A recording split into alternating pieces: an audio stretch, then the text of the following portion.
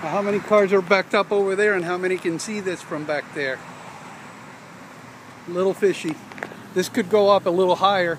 So that means that from here, okay, it's actually only maybe three feet high from the curb. And we're talking one, two, three, four, five, six, seven feet away. And there's the sign.